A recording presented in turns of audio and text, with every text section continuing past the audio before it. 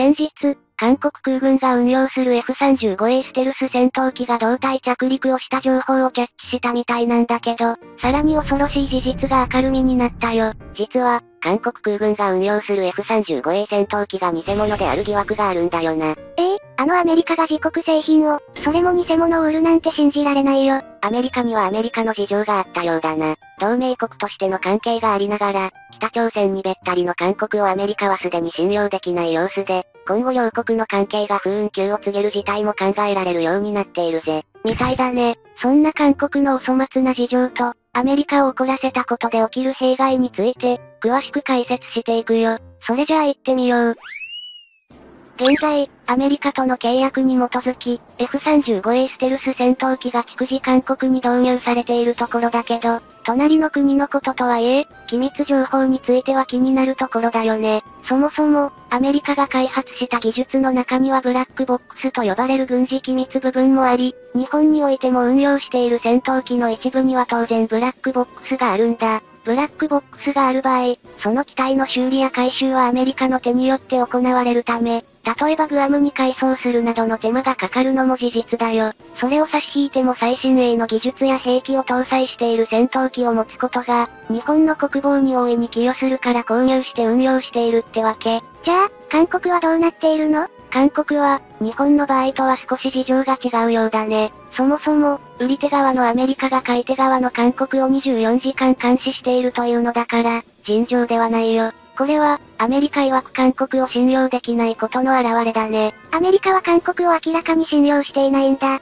その証拠に、韓国に配備されている F35A は外観のみ F35A 戦闘機とは言えるものの、中身は完全オリジナル製品となっているからな。要するに、F35A をアメリカから買ったのだが、その機体の中身を入れ替えたということみたいだぜ。当然ブラックボックスの部分は、元から韓国側に見せないようにして、ってわけだ。そこまでアメリカが韓国を信用しない理由は、北朝鮮中国の影がちらついていることが最も大きな原因だろうね。韓国は、経済面で中国との関係を強化しており、中国の後ろ盾がある北朝鮮とも融和できると踏んでいるようなんだけど、北朝鮮ほど狡猾な国家はないわけで、利用価値があれば利用され、馬鹿にされるだけということが分かっていないんだろうね。北朝鮮からすれば、韓国はアメリカとの直接交渉に乗り出す時の出しでしかなく、交渉が途絶すれば韓国と接近する意味もないわけで、建ててあげたビルを爆破されてもいかんのいで済ませてしまう韓国は、本当に北朝鮮に舐められていると思うよ。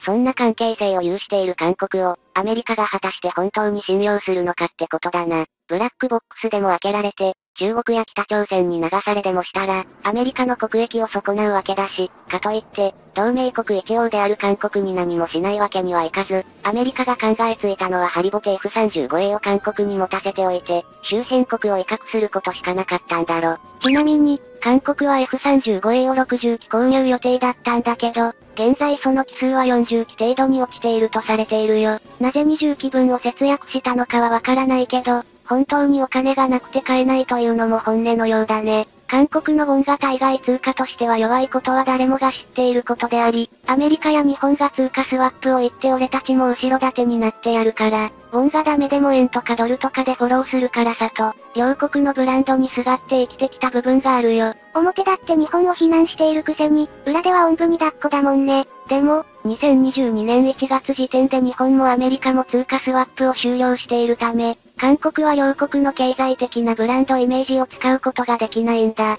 本当に内袖を触れなくなってしまっているってわけ。そんな状況にもかかわらず、韓国は軽空母の保有計画を表明したんだよね。強襲揚陸艦を空母化改装するとぶち上げたのは、日本が出雲型護衛艦出雲加賀を空母化することとし、出雲がアメリカ海兵隊との合同訓練で F35B の離発着テストを無事に終えた後のことだったよ。明らかにやっかみが見え隠れしていて、気持ち悪いよ。韓国のそんな軽空母化計画が果たして本当に確定しているのかはよくわからないけど、韓国は軽空母用に短距離離陸垂直着陸可能な F35B 型を20機程度調達する方針を打ち上げているんだ。ちなみに日本は、F35A を105機、空母搭載用の F35B を42機調隊することが決定していて、機体数だけを見ると世界でも本国アメリカの次に多い機数となっているぜ。そもそも韓国が F35B や軽空母建造の意思を表明した背景は、日本を敵対視していることがあるんだ。海上自衛隊が護衛艦出雲加賀を航空母艦化改修を行うことで、韓国は敵国の勢力増強を不安に思い、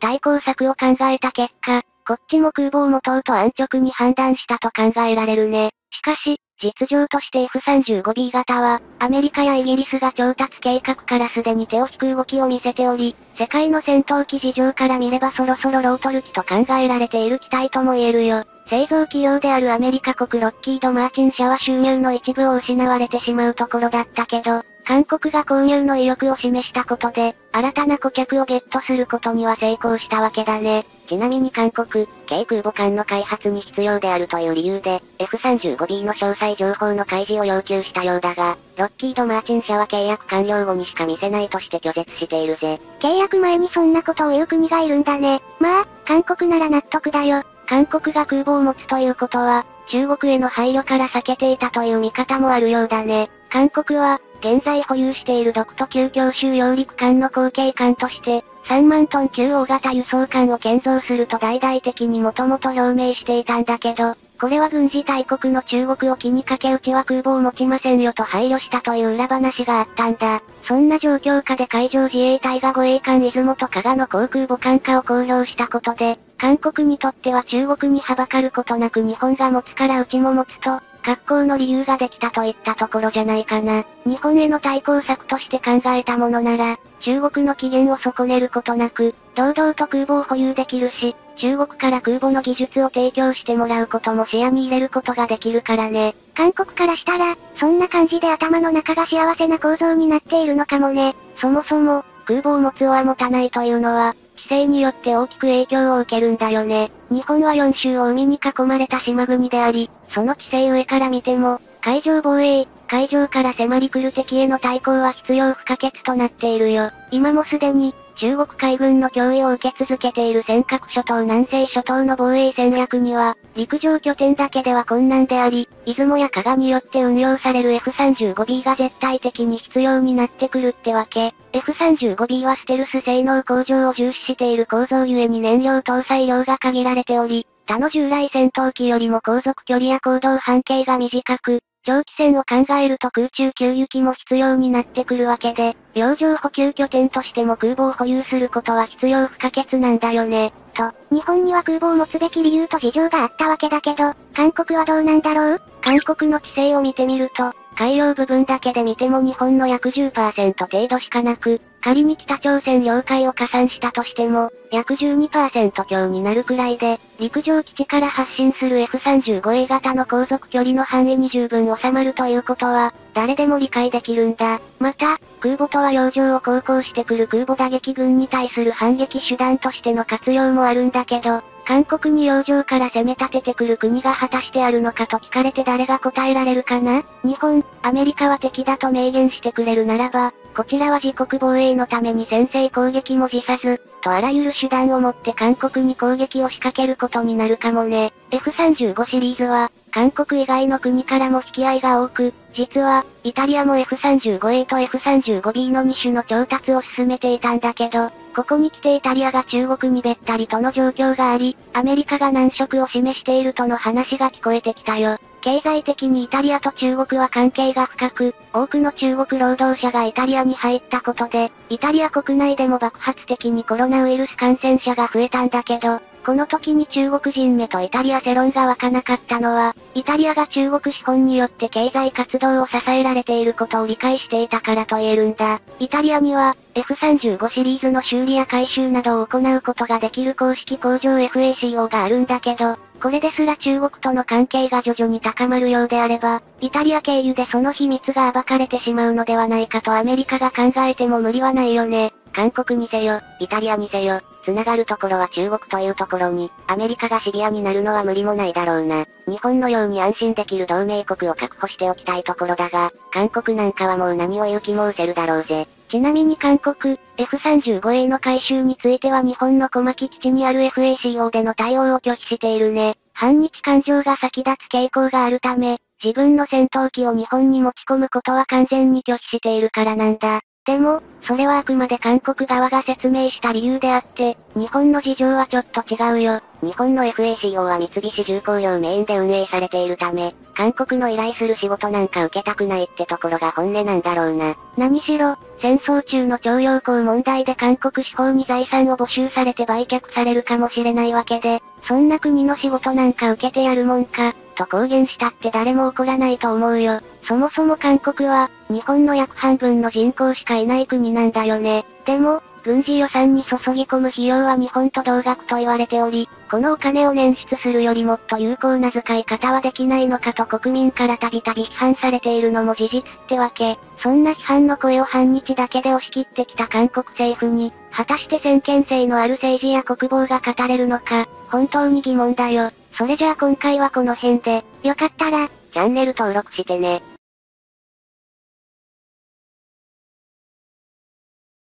2019年末から世界にじわじわと広がった新型コロナウイルス感染は、2022年においても猛威を振るっているよね。落ち着いたかと思えば増えて、増えたかと思えば落ち着いて、っていうのを繰り返しているよね。もはやマスク着用がしばらく解除されることはないだろうな。また夏場は暑苦しい思いをすることになりそうだぜ。そうだね。一般社会での爆発的流行は言うまでもなく、厳重な管理体制下にあるはずの軍隊もその侵略を逃れることはできなかったようだよ。さて今回は、そんなウイルスによる軍隊への打撃と、オーストラリア潜水艦建造の進捗について解説していくよ。それじゃあ行ってみよう。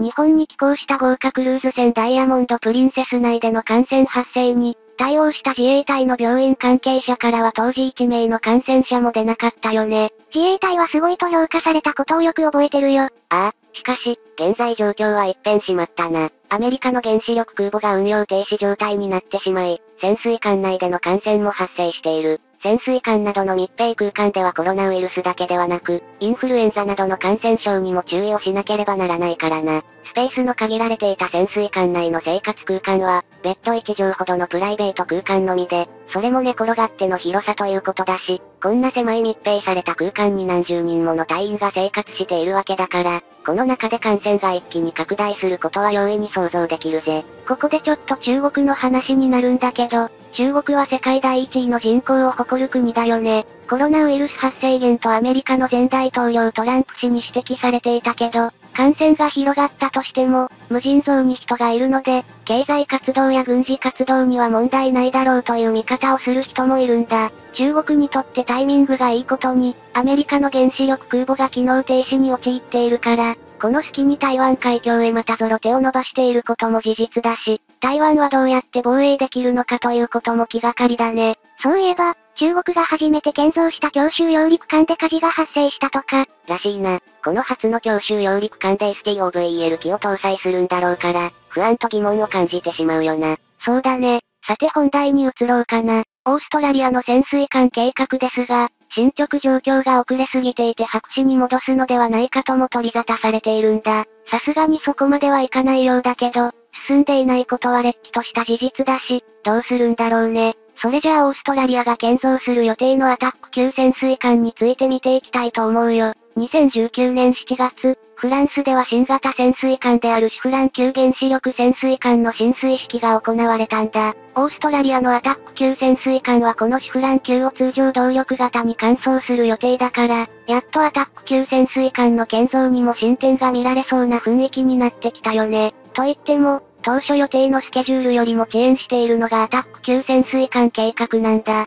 合計12隻の建造予定とされているけど、コストが膨らみ続け、今やなんと1隻5000億円以上となっているから、実現が非常に危ぶまれているとのことだよ。このオーストラリアの潜水艦計画については日本もまんざら無関係ではなかったんだ。なぜなら入札には日本も参加していたから。しかし結果としてフランス案が選ばれ、日本案は振られちゃったってわけ。だけどフランスでの建造があまりにも遅れていることから、オーストラリアの視線が日本へ向けられるようになってきたみたい。2016年、オーストラリアがフランス案を正式に決定するまでの期間は、日本の武器輸出のハードルが下がった時期と重なったため、もしかしたらオーストラリアへ初めての武器輸出となるのかもと注目されていた案件でもあったんだよな。今でも一説には日本案を逆転採用ではないかという期待を込めて懸伝する報道もあるみたいだけど、現実的にはそういった可能性はほとんどないだろうね。いくらハードルが下がったとは言っても、武器輸出経験の豊富な他の国と、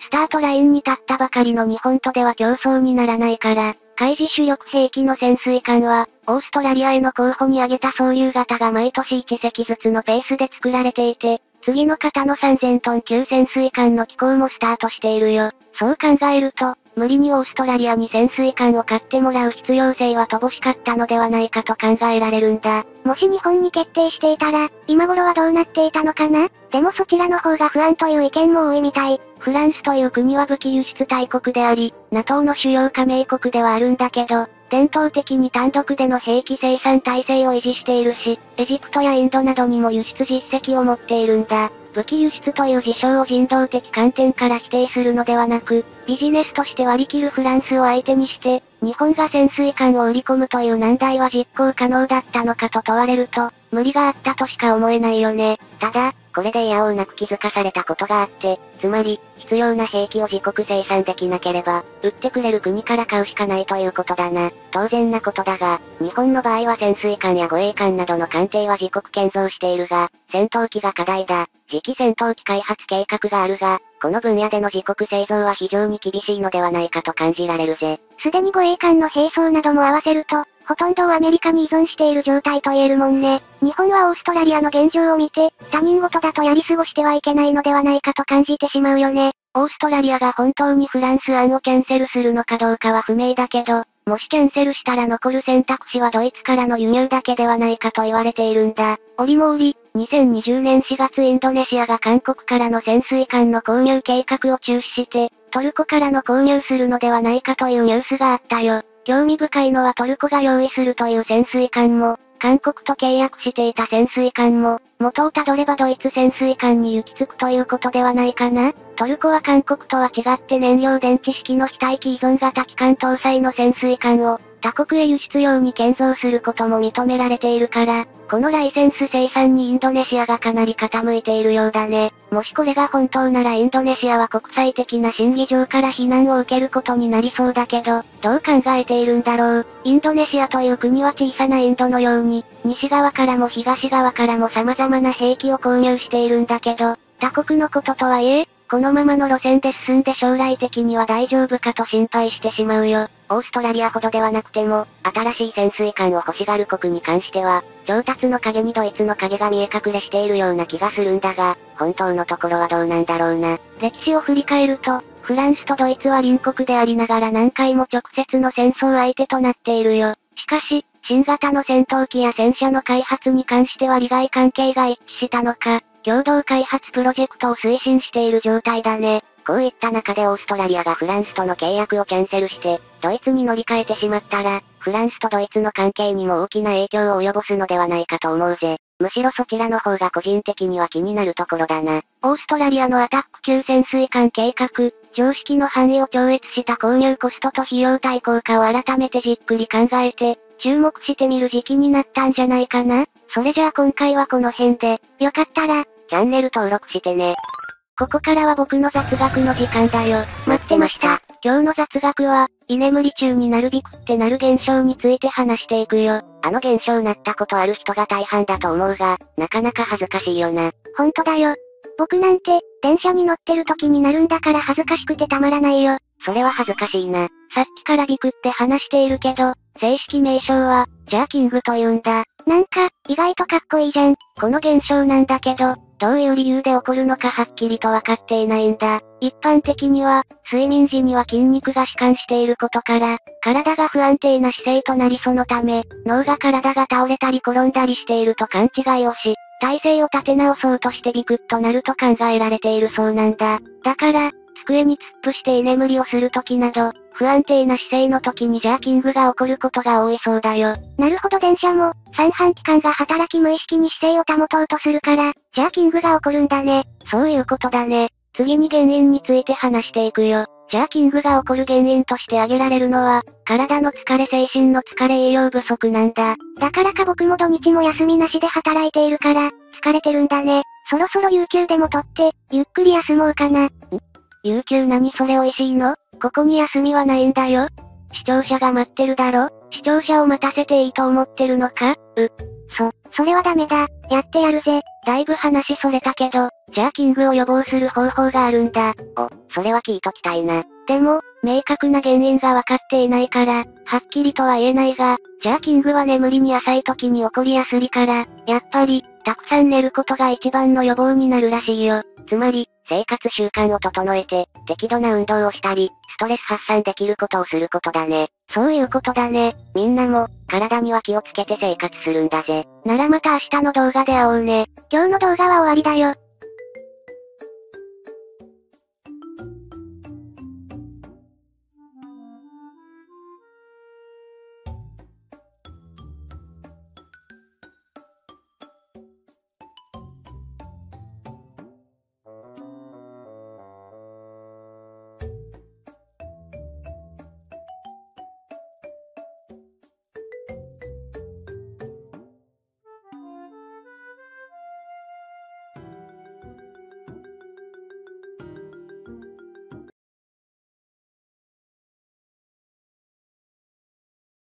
日本は航空優勢を図るため開発中の次期ステルス戦闘機と同時進行で、無人戦闘機開発も実行すると自民国防部会で発表したね。日本は土地柄、航空優勢を図るのは必須だと言えるもんね。中国っていう最大の仮想敵国も存在しているから、軍事面を充実させることは急務だぜ。そうだね。さて今回は、防衛省航空自衛隊が進める F2 戦闘機の代替機計画、これに連携する無人機開発も発表したことについて、解説していくよ。それじゃあ行ってみよう。この無人戦闘機の最高スピード 10G という驚異的な異次元の速さを聞いて驚愕を隠せなかったよ。日本でも無人戦闘機技術が開発され、こんな技術があったというのを世間であまり知られていないんだ。それもそのはず。与党自民党の国防部会安全保障調査会合同会議の席上で、防衛省は2035年をめどに現在の F2 戦闘機の代替機と連動する無人航空機の開発を行うことを発表。ちなみに F2 は F1 の後継として開発された航空自衛隊の戦闘機であるのだけど、1995年に初飛行を行い、2000年から部隊配備を開始しているよ。公式ではないけど、軍事関係者や航空機ファンからは平成の冷戦や、ビーパーゼロなどという愛称で呼ばれているね。この航空自衛隊が運用することになる無人航空機の開発に関しては、2022年度防衛予算に初期費用を計上して本格化される見込みとされ、これと並行して運用方針や仮想敵国の状況等も鑑みての開発方針が決定するよ。計画の進め方としては無人航空機の実寸大のモックアップなどを当初作成、その後、実証機のテストでの飛行結果などを得ながら進められていくというのが防衛省のやり方だね。そして次世代戦闘機計画で生み出される機体が今回の無人航空機を完成する方向というわわけだね。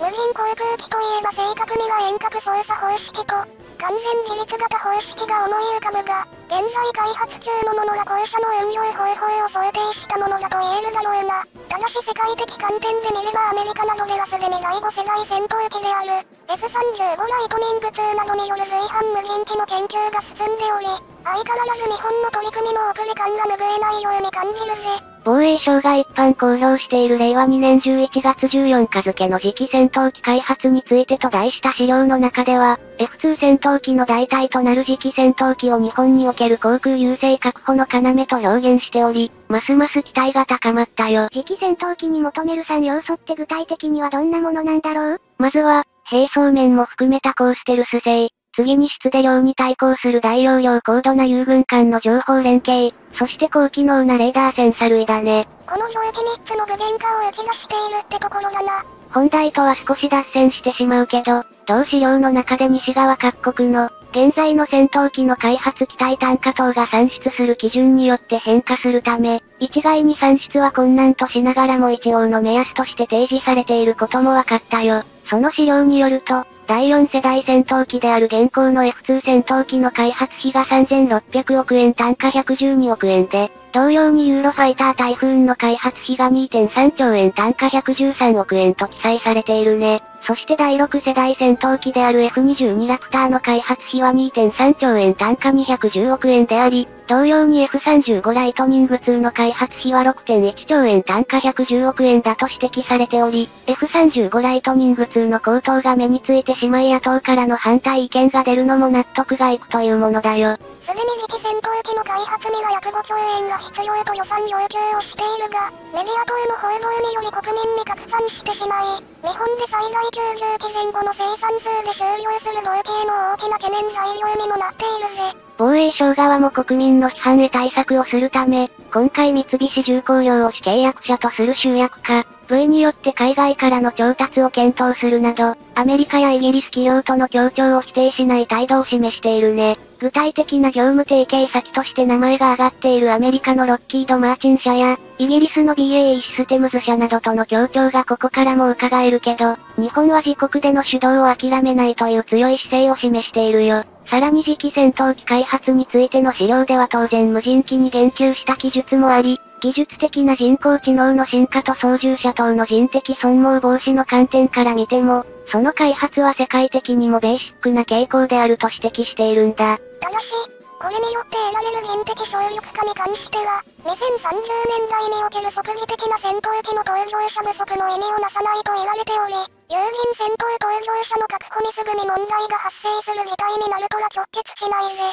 しかも定型的な運用で対応が可能と見込まれる偵察や、空対地攻撃といった分野では無人機の導入は比較的簡単と想像しつつ、飛来する敵地に対する即応性は有人機に劣ると指摘されていることが分かったな。この事柄を踏まえて防衛省では、有人戦闘機に随伴しその任務を支援する遠隔操作型の無人航空機の開発を行うと明記し直して、令和3年度の概算要求からその開発予算を計上したんだ。その一方で軍事最先端のアメリカはスカイボーグ計画として、有人戦闘機と安価な無人機との連携を4社で研究しており、これに向けて複数の無人機製造企業と試作機の製造に着手しており、映画のような未来戦争でも起こすのかと疑ってしまうね。4社ってどこなの？この4社とはボーイング社、ゼネラルアトミックス社、ノースロップグラマン社、クラトス社のことであり、さらにこれに加えてイギリスの BAE システムズ社の参加も記述されており、また無人の大量破壊兵器が作られていくだろうね。有名どころが一堂に会しているね。